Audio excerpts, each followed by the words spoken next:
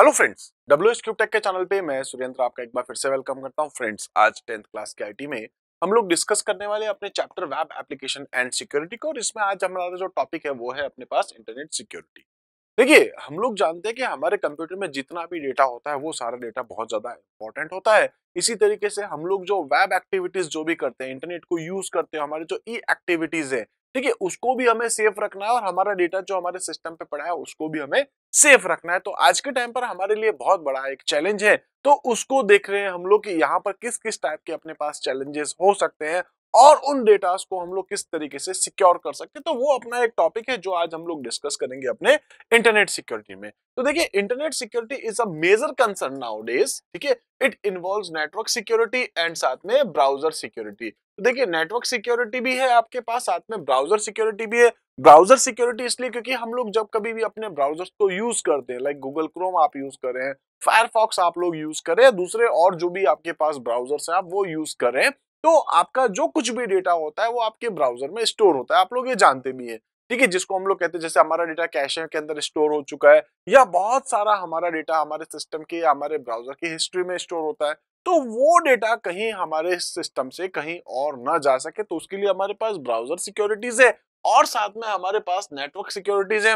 यानी कि ब्राउज़र को यूज़ करने के बाद में भी आप जिस पर्टिकुलर वेबसाइट्स पे जाते हैं, उस वेबसाइट्स पे आपकी जो भी एक्टिविटीज़ होती है, ठीक है? तो उसको भी आपको यहाँ पर जो है सेफ़ रखना है। तो उसके लिए बहुत सारे ऑप्शन हैं जो हम लोग अभी डिस्कस करेंगे। इसी तरीके से अगर हम लोग यहाँ पर बात करें तो many online threads make the यहाँ पर कंप्यूटर इनसिक्योर तो हमारे सिस्टम को जो है, हमारे कंप्यूटर सिस्टम को जो है, वो इनसिक्योरिटी प्रोवाइड करवाता है। कौन है? तो अपने पास हम लोग बात करेंगे, कुछ एग्जांपल्स देखते हैं। पहले, सबसे पहले अपने पास आता है यहाँ पर फिशिंग ठीक है, इसके बाद अगर अपन बात करें तो ईमेल स्पूफिंग है। इसी तरीके से आपके पास कह सकते हैं etcetera increases the chance of users getting compromise तो देखिए, हम लोग जानते भी कि हमारा जो सिस्टम है, उसके अंदर जो भी फाइल्स वगैरह, जो कुछ भी स्टोर पड़ी है, वो कहीं ना कहीं किसी ना किसी तरीके से हमारे सिस्टम से डैमेज हो सकती है।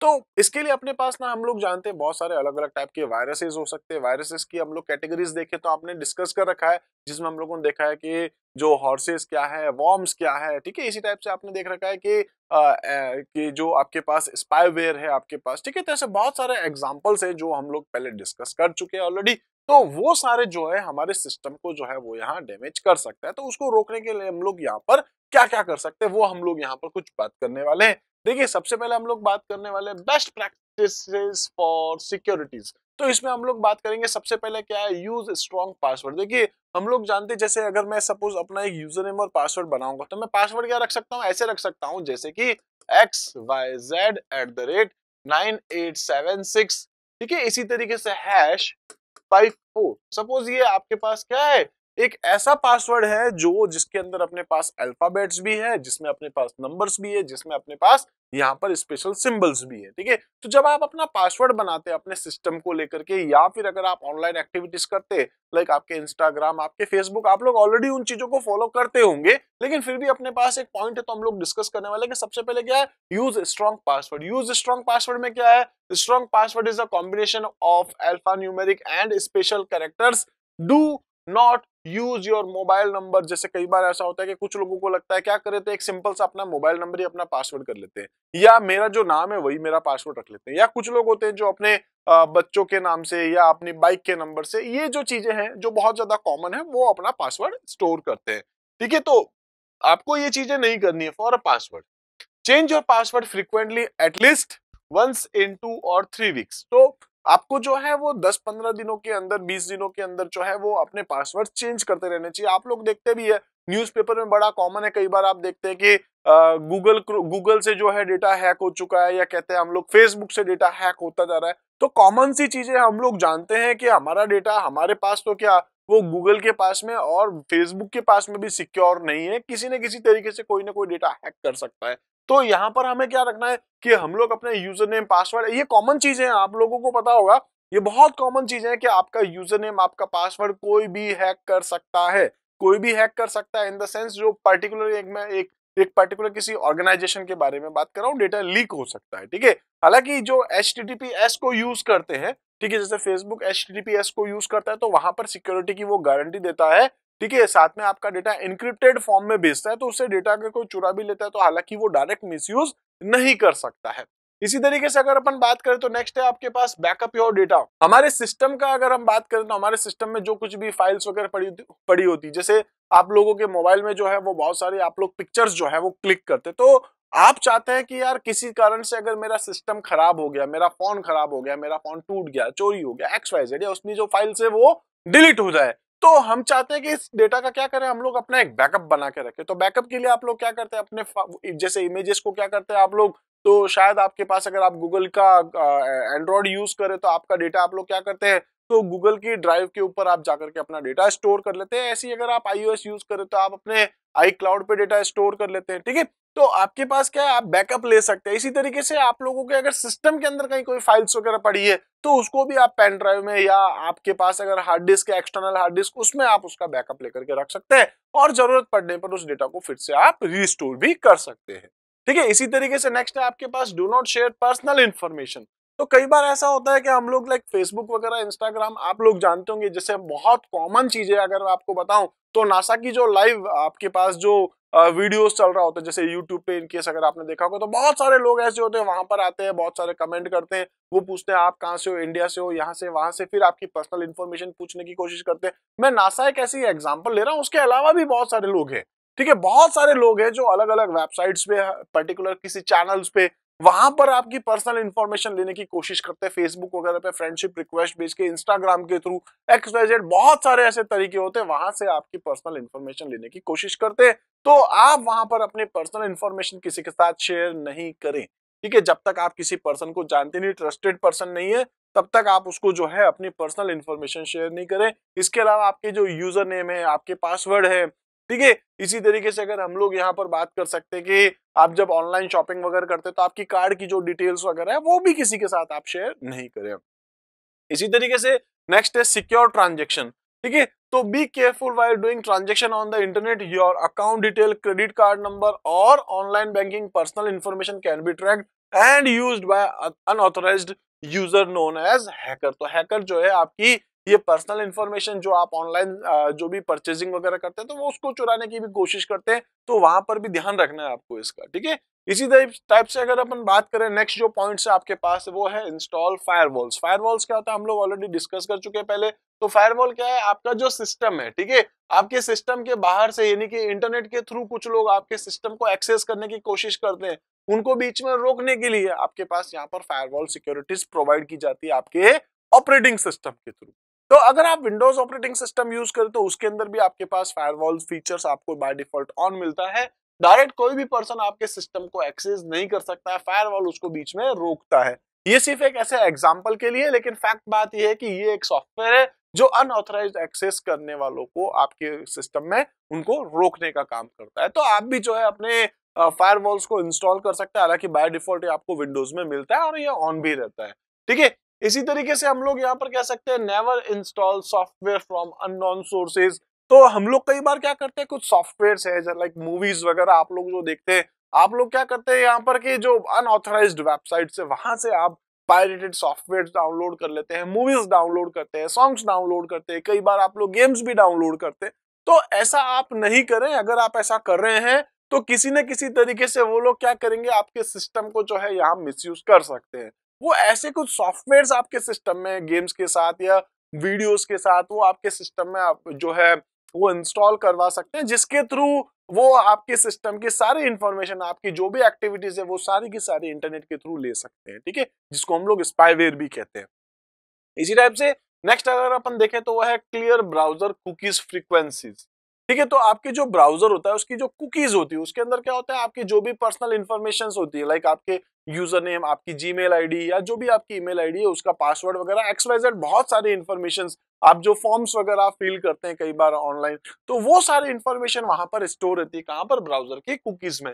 तो कोशिश करिए, आप लोग उसको भी रिमूव करिए कुकीज को साथ में आपके सिस्टम के हिस्ट्री वगैरह जो भी है, उसको भी आपको यहाँ पर क्लियर करते रहना चाहिए, ठीक है? तो यहाँ पर कुकीज क्या है? तो बताया जा रहा है cookies are the program that are created on your local computer when you visit website so आपकी जो भी एक्टिविटीज़ uh, है आपकी जो इन्फॉर्मेशन है उन पर्टिकुलर वेबसाइट्स पे जाके आपने अगर वहाँ कोई एंट्री करी है ठीक है तो वो सारी वहाँ स्टोर रहती है तो उसको भी आप यहाँ पर क्लियर कर सकते हैं। ठीक है इसी तरीके से नेक्स्ट अगर अपन देखें तो आपके पास आता है use antivirus and anti spyware software तो एंटीवायरस सॉफ्टवेयर क्या होते हैं? आप जानते हैं, जो वायरस को आने से रोकते हैं और आ चुका है तो उसको क्लीन भी करते हैं। साथ में एंटी स्पाईवेयर क्या होते हैं? स्पाईवेयर ऐसे सॉफ्टवेयर होते हैं, मैं आपसे अभी दो तीन बार मैंने नाम ले लिया है। तो स्पाईवेयर ऐसे सॉफ्टवेयर होते हैं, जो चुपचाप अपने सिस्टम में आ जाते हैं, अपन को पता नहीं चलता बैकग्राउंड में बहुत सारा कुछ काम करते हैं और बहुत सारे इन्फॉर्मेशन पास कर देते हैं। ठीक है तो अपन उनको रोकने के लिए क्या यूज़ कर सकते हैं? एंटीवायरस सॉफ्टवेयर एंटी स्पाईवेयर है। ठीक है, इसी टाइप से एड वगैरह आते हैं, कई बार आपने देखा होगा आपके सिस्टम में तो एड को रोकने के लिए एंटी एडवेयर आपके पास हो सकता है। बहुत सारे अलग अलग टाइप के सॉफ्टवेयर होते हैं, जो हमें अपने सिस्टम में रखने चाहिए, ठीक है? जिससे हमारे सिस्टम की और हमारी सिक्योरिटी रहती है। इसी तरीके से बात कर सकते हैं कि यहाँ पर जो है, अगर अपन एंटीवायरस और एंटी स्पाईवेयर सॉफ्टवेयर यूज़ करते हैं तो you should ensure your system safety and security by following some guidelines and rules. क्या क्या है? Install an antivirus program on your computer or laptop always जो आपका एंटीवायरस सॉफ्टवेयर वो आपको अपडेट रखना है। जैसे कि आपने अगर एक सॉफ्टवेयर इंस्टॉल कर दिया एंटीवायरस सॉफ्टवेयर ऐसा नहीं इंस्टॉल हो गया, खत्म हो गया। ठीक है, उसको हर 10 15 20 दिन बाद, एक महीने बाद, दो महीने बाद जब भी उसका अपडेट आए तो आपको उसको अप टू डेट रखना चाहिए। इसके अलावा do not download the files or information from unauthorised sources on the internet इसके बाद है आपके पास never reply to unknown emails ठीक है? इसके अलावा आपके पास है never use a foreign disk or CD without scanning it for virus तो ये कुछ बेसिक पॉइंट्स थे जो आपको यहाँ पर ध्यान रखने हैं जब आपको अपने सिस्टम में एंटीवायरस सॉफ्टवेयर और एंटी स्पाईवेयर इंस्टॉल करते हैं। उसके बाद में भी आपको ध्यान रखना है कि आप बिना स्कैन के अपनी सीडीज को, अपने पेन ड्राइव को, ठीक है डायरेक्ट यूज़ नहीं करें। अननोन आपके पास ईमेल है, आप उसको डायरेक्ट यूज़ नहीं करें। इसी तरीके से आपके पास यहाँ पर जो है, वो एंटीवायरस सॉफ्टवेयर अगर आपने इंस्टॉल कर रखा है तो उसको आप टाइम टू टाइम अपडेट करते रहे। ऐसे कुछ बेसिक पॉइंट्स थे। इसी तरीके से नेक्स्ट अगर अपन देखें तो अपने पास आता है एंटीवायरस सॉफ्टवेयर होते क्या है? डेफिनेशन आप देख सकते हैं। नाम कुछ आपको याद रखना ज़रूरी है। And antivirus spyware is a program ठीक है? क्या करता है? दैट डिटेक्ट करता है प्रिवेंट करता है from malicious program malicious program मतलब मालवेयर मालवेयर ऐसे सॉफ्टवेयर होते हैं मेलिशियस प्रोग्राम होते हैं मेलिशियस सॉफ्टवेयर होते हैं, जो अपने सिस्टम में आके अपने कंप्यूटर को नुकसान पहुंचाते ही पहुंचाते हैं। ठीक है? Such as viruses you can protect your system against virus by using antivirus software अब कुछ एक नाम आप देख सकते हैं। पहला नाम है आपके पास अवीरा है। ठीक है? क्विक हिल है। कैस्पर स्काई है। नॉटन है। मैकेफे है। और आपके पास बहुत सारे एग्जाम्पल्स हो, सक, हो सकते हैं लेकिन उसमें से कुछ कॉमन है जो यहाँ नाम भी लिखे और साथ में मैंने यहाँ उसकी एक इमेज भी अप्लाई करवा रखी तो आप उसको भी यहाँ पर देख सकते हैं। इसी तरीके से नेक्स्ट अपना जो पॉइंट है और लास्ट जो पॉइंट है वो अपने पास है उसका नाम है अपने पास बिट लॉकर बिट लॉकर होता क्या है हम लोग पहले उसके बारे में देखते हैं। देखिए बेसिकली आपके पास ये एक फीचर होता है जो विंडोज़ में आपको प्रोवाइड किया जाता है।